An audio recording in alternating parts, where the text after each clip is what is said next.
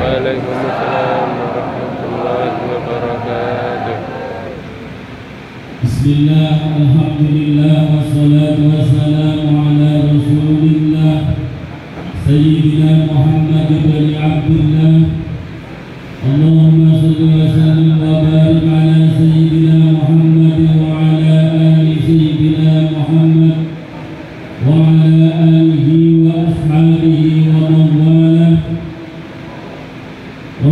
لي صدري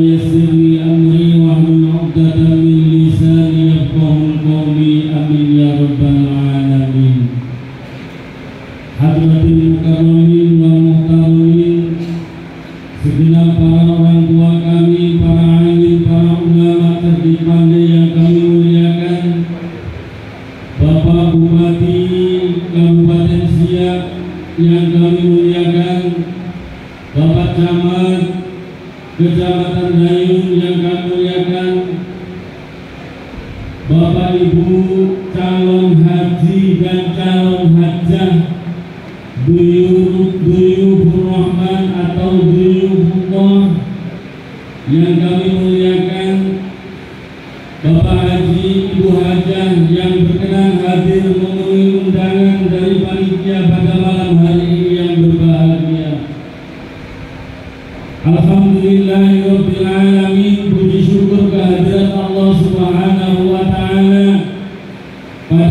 kesempatan malam yang berbahagia ini Kita dapat menghantarkan tamunya Allah subhanahu wa ta'ala Yang insya Allah besok tanggal 17 Akan berangkat menuju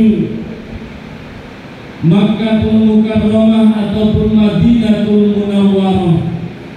Mudah-mudahan kita doakan bersama perjalanannya dari kampung dari kecamatan Dayung ini, sampai nanti di Madinatul Munawwarah, sampai nanti di Makkahul Mukarramah, bisa menjalankan apa yang menjadi wajib maupun rukun daripada haji. Bisa diberikan kesehatan oleh Allah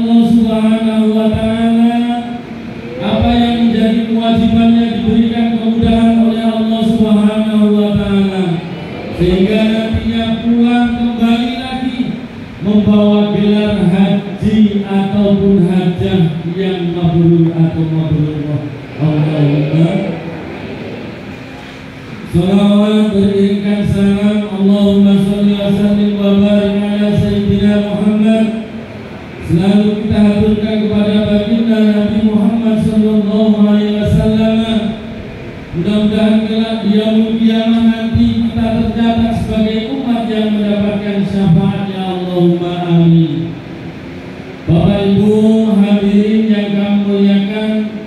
Pertama kami menyampaikan mohon maaf Kenapa?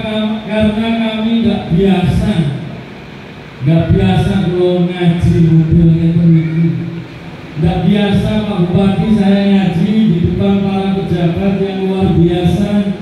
Biasanya kami ngaji bersama ibu-ibu, Pak, bersama bapak-bapak orang kampung. Jadi bahasanya pakai banyak banyak bahasa Jawa, Pak. Tapi alhamdulillah Malam hari ini sekalipun itu saya kira yang mendadak Mau nggak mau karena sudah ditelepon pas telepon mati HP-nya Jadi yang kalau bisa ya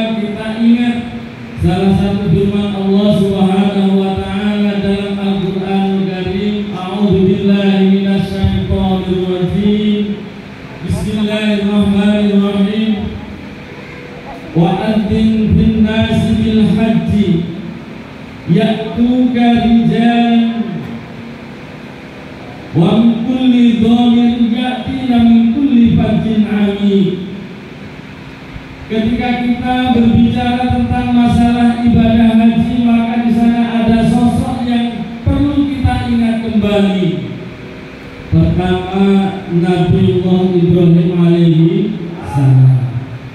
Yang kedua Siti Hajar. Yang ketiga Nabiullah Ismail alaihi salam.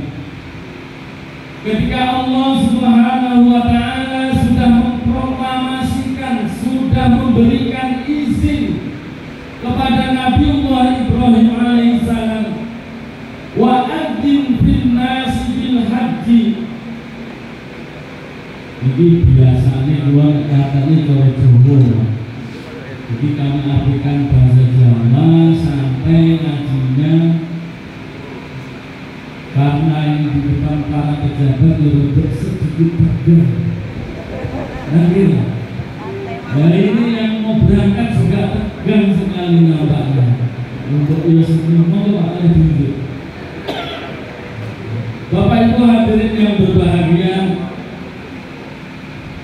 Allah Subhanahu wa taala sudah memberikan izin Ibrahim alaihissalam sekarang beritahukan sudah memaklumatkan kepada manusia. Sudah mulai sekarang wa'adzin bin nasi diumumkan pengumuman maklumat himbauan ibadah haji. Nanti dalam pengumuman itu Allah sampaikan nanti yang akan datang melaksanakan ibadah haji itu bukan hanya orang yang berkendara tapi ada yang berjalan kaki yaitu jalan jalan kaki jadi bukan hanya naik pesawat kalau kita naik pesawat gilirannya yang kedua yang daerahnya di dekat Makkah Mukarramah ibadah hajinya ada yang jalan kaki. Termasuk di antaranya adalah Uwais al-Qarni kemudian berikutnya wa'ala kulli dhamirin biasanya kalau di Quran itu diartikan ada orang yang naik unta yang kurus untanya kurus makanya dikatakan domir tersembunyi dagingnya hilang jadinya ya tinggal tulang sama kulitnya yaktina min kulli fajjin amik akan datang dari tempat yang tidak diketahui.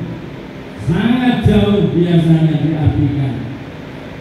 Makanya kita termasuk yang kedua ini. Datang ke Mekah sangat jauh. Bapak Ibu hadirin yang berbahagia. Karena Haram ke Makkahul Mukarramah atau Madinatul Munawwarah. Apalagi ini nanti? Gelombang pas gelombang pertama nih biasanya nanti langsung ke Madinah. Kalau sudah sampai Madinah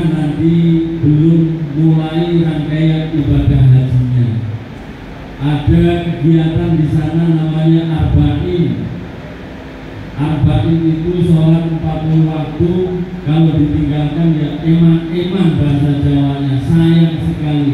Maka usahakan bisa jamaah di Masjid Nabawi. Kalau bisa. Kalau nggak bisa ya nggak dipaksa. Karena kalau ada yang mundur yang sakit kan nggak wajib. Ini belum masuk rangkaian ibadah haji. Biasanya ada 8 hari. Nah kemudian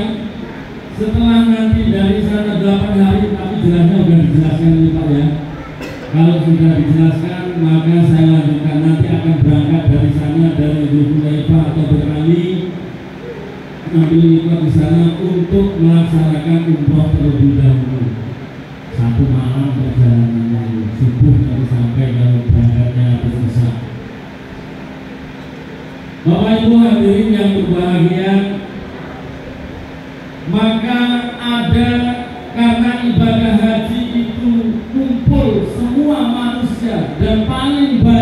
bisa nanti adalah orang Indonesia. Dulu tahun 2011 ketika melaksanakan ibadah haji, saya pernah ber, mencoba berinteraksi sedikit-sedikit menggunakan bahasa Arab. Ternyata begitu ngobrol ngalur itu ke sana kemari kehabisan kata-kata. Karena kehabisan kata-kata saya sendiri juga kehabisan perbendaharaan kata. Maka saya jawab dengan menggunakan bahasa Jawa. Dia ngomong Arab saya bahasa Jawa. Nyambung enggak Pak Bu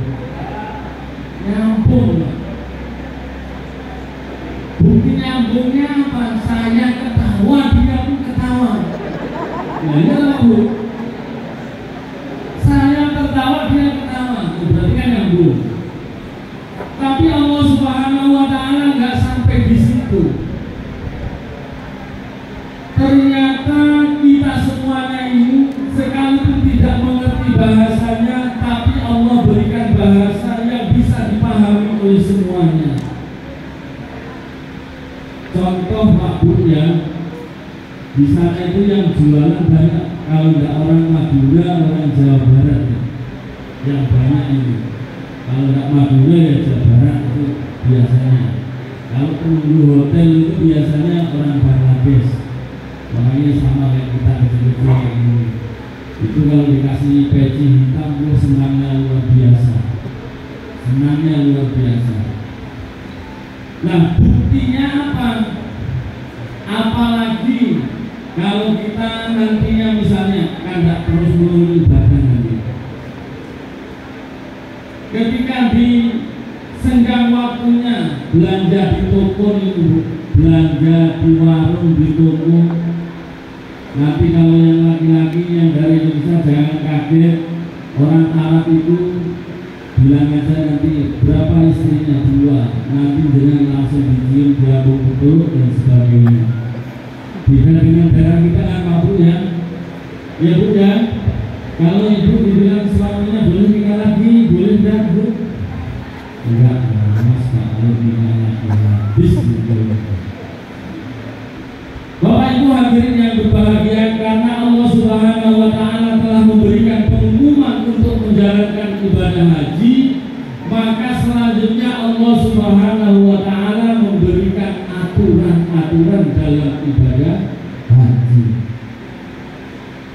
tidak ada aturannya, maka yang terjadi ya kayak supporter bonek ini. Nengok sepak bola jadinya bertengkar berkelahi. Sebagaimana yang tadi dibacakan oleh wariahnya dalam surat Al-Hajj A'udzu billahi minasyaitonir rajim Bismillahirrahmanirrahim Al-Hajju ashhurun ma'lumat. Haji itu sudah ditentukan waktunya. Nggak bisa dirubah sekalipun ada orang yang ingin merubah dan pernah ingin dirubah waktunya karena berbagai insiden terjadi namun tidak diizinkan. Maka yakinlah kalau Bapak Ibu diajak nanti untuk menjalankan ibadah haji kok selain bulan haji jangan mau maka itu namanya haji bodong. Haji bodong apa? hajinya enggak sah. Kenapa Allah sudah pesan yang pertama? Al-Hajju Ashurul Ma'lum Ma'lum Waktunya sudah ditentukan oleh Allah.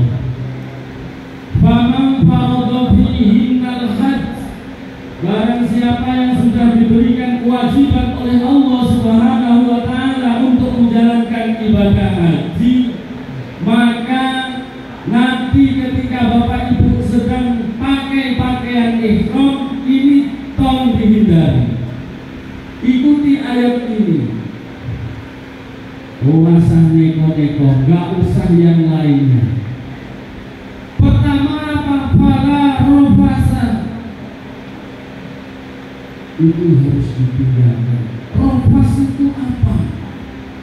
Dalam sebuah hadis yang diriwayatkan oleh Ibnu Abbas, sumbernya dari Ibnu Abbas, Rofas itu bermakna al-jima'u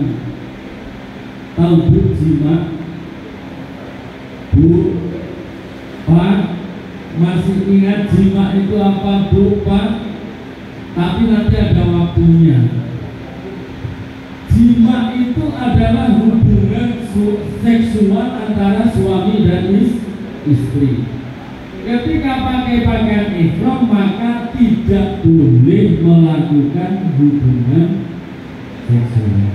Sabar dulu, tunggu sampai selesai nanti ada yang namanya biasanya ditawari barokah, barokah, barokah, kamar barokah. Ada ya? Masih ingat kan Pak Ibu ya? Ada yang pesan dulu? Bapak-bapak tidak ada? Sayang sekali kalau dilewatkan. Berapa hari menahan kan seperti itu. Bapak Ibu hadirin yang berbahagia itu yang pertama. Maka ada juga ditafsirkan yang Hakim masih sama al-jima'u bukan hanya hubungan suami istri segala sesuatu yang mengandung unsur porno aksi. Sampaian bapak ibu tengok melihat karena mungkin orang negro kulitnya hitam sehingga tertarik naiklah nafsu birahinya maka tidak boleh. Eman-eman bahasa Jawanya sayang kalau sampai melakukan hal itu. Kenapa? 56 juta bisa sia-sia. 56 tuh ya 56 juta. Luar biasa. Bapak Ibu hadirin yang berbahagia yang kedua apa yang dipesankan dalam ayat tersebut? Wala husuno. Maka tinggalkanlah janganlah melakukan hal-hal yang fasik. Dalam riwayat Ibnu Abbas busuk itu bermakna al-ma'asi maksiat